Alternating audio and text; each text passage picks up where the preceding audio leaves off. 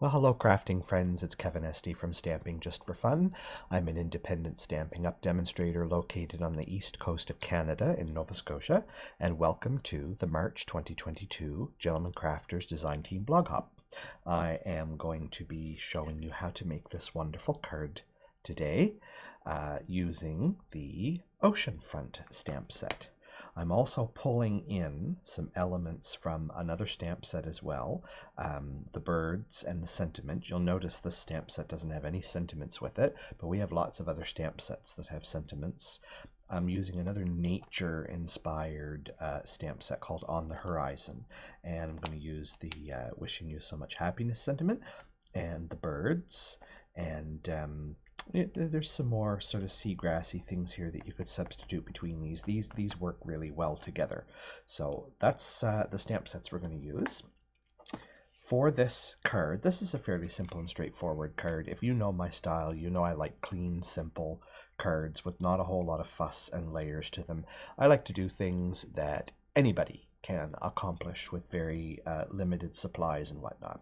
I am going to use a variety of ink colors today and I'm going to use some sponge daubers uh, to add some varying effects but you don't have to use as many colors as I have to accomplish this card. So for the sunset I am using pale papaya as the main base color and I'm adding on some So Saffron yellow to uh, give it an appearance of a sunset, a gradiented sunset.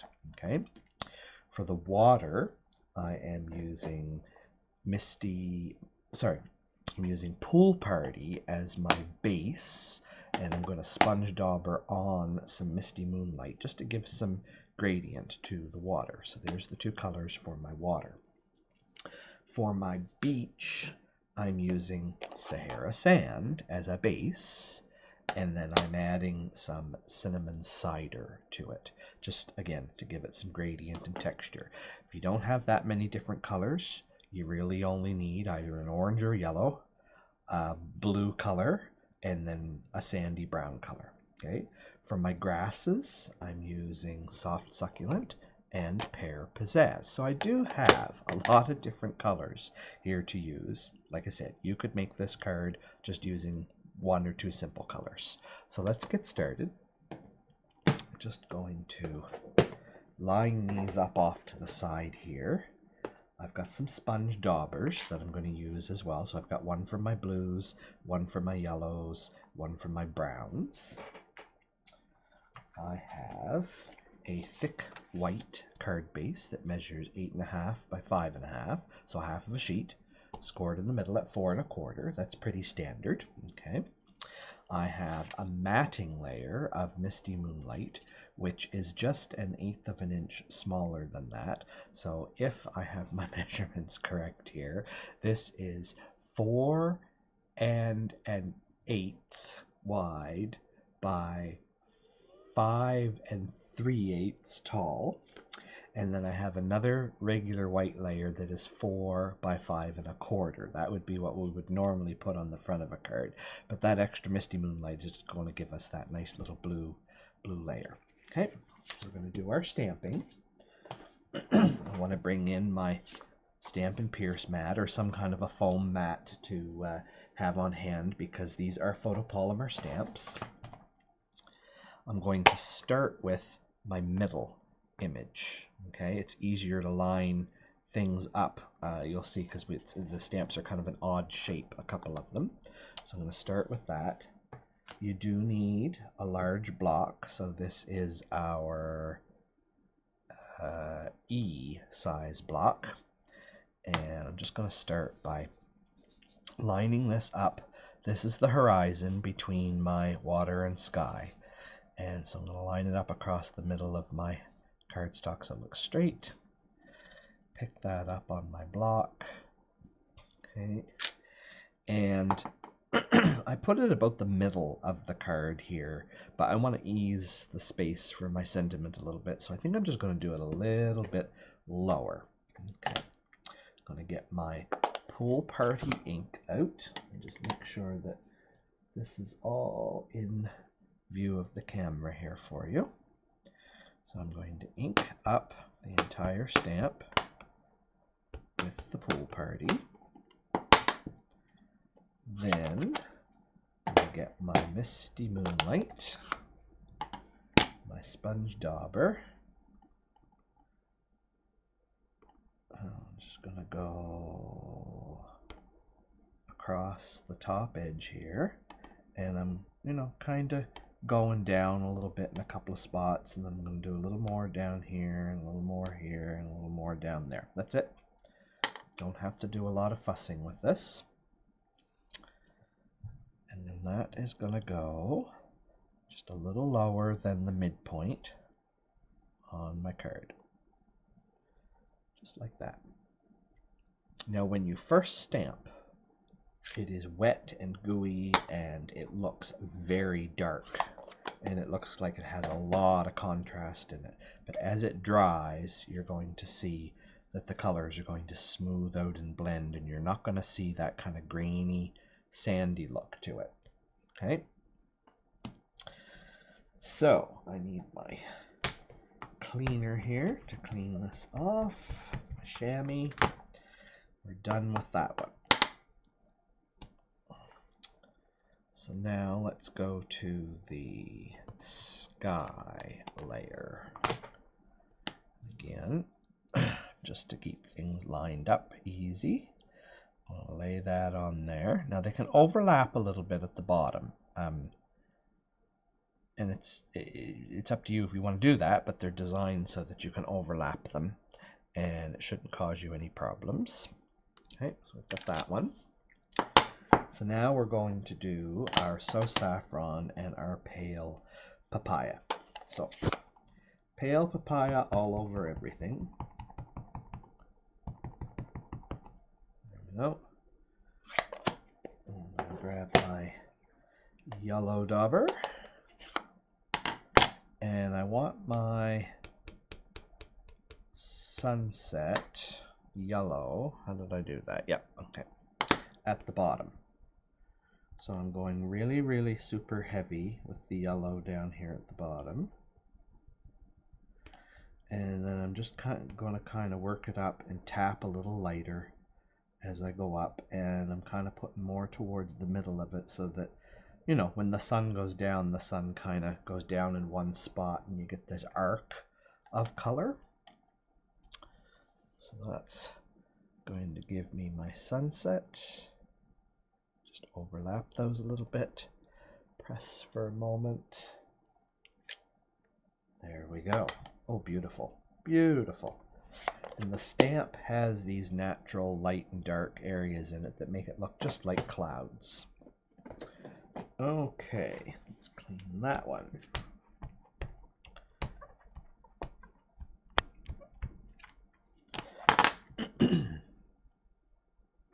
okay. Then the last layer is the beach layer. And that one goes on the downward angle here. And you really have to overlap it.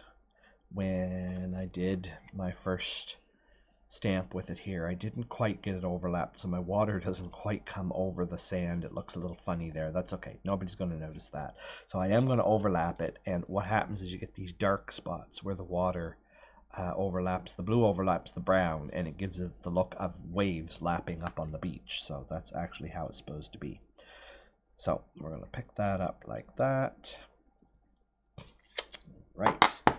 We are going to do Sahara sand all over the whole thing like that. I'll turn it sideways rather than upside down. And I'm going to bring in some cinnamon cider and I just want to go along that water edge with the cinnamon cider a little bit and then down here maybe a little maybe a little right there just like that. Okay. Close these up.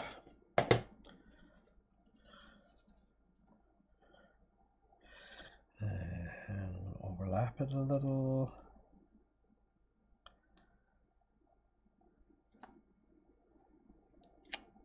There we go. Yeah, you get that nice effect of the waves lapping up against the water.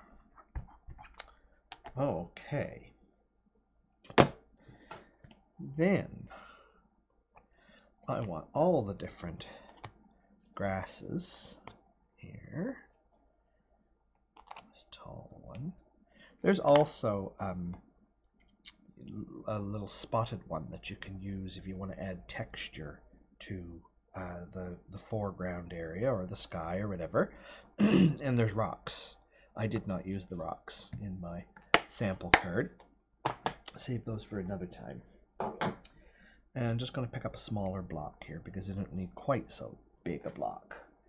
And I'm going to bring in my greens. So I'm going to start with this large leafy green. and I'm using soft succulent. And I'm just going to put one, two of those, like that, okay? And then keeping the soft succulent and going to the smallest leaf, green grass. We're going to do one of those just here. And one of those just there. Okay. Done with that one. And then I'm going to pick up this one and switch to my pear pizzazz. Once you get going with this, it doesn't take long to get it all together. And I'm just overlapping these a little here. I'll put another one just here, like that. There we go. Beautiful. Okay. then I'm going to go back to my Misty Moonlight ink. You could use a gray, you could use, you just use black if you want to. And I'm going into my On the Horizon stamp set and I'm going to bring out the birds and that sentiment that I liked. And get my birds the right way around here. I'm going to come off of my Stampin' Pierce mat because this is a stamp set that has the foam behind it, so I don't need the Stampin' Pierce mat foam. And we'll put the birds in the sky here.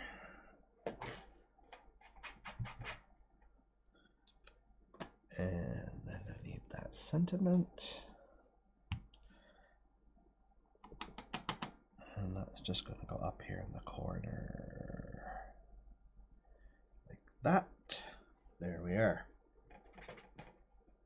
Beautiful. All right. All of this out of the way. And our card base. Blue. We're also going to use some of these beautiful faux sea glass shapes. I am going to fold and burnish my card base. See when my trimmer cut it kind of scalloped the edge a little there, so we'll flatten that out. Good. Okay. Then we're going to put down our matte layer. He goes on there with just a 16th of an inch showing on all four sides that. And then this layer is going to go right on top. This is probably one of the first cards in a long time I've done that I didn't use any dimensionals. And I suppose I could have either built this layer up, the blue and the stamp layer, and then put them up on dimensionals, or just this piece doesn't matter though. I, it's, it's, this is a nice flat, heavy card. Okay. And then we're just going to add some of these fun little sea glass shapes down here on the bottom. I don't know if you'd stumble upon sea glass exactly on the beach like that, but these little ones. But these little things are so fun. Uh, where's my, which is my sticky side? There we go. All right. So there's my original sample and the one we just made together. I certainly hope that you enjoy that and uh, I hope that you will stick around and go to the bottom of this post. If you are watching this video via my YouTube channel, which is where I tend to upload my videos first before I add them to my website, then you need to go over to my website at stampingjustforfun.ca and in my blog post, you're going to find the measurements and everything for the card. You're going to see the video. And then just below that, you're going to find the links to all the other gentlemen who are participating in this month's uh, craft hop. And uh, go and have a look at what they create too. Um, they're a really good group of men from around the world, and they have some really good creative ideas. I myself cannot wait to see what they share. All right, have a good day, and we'll see everybody next month.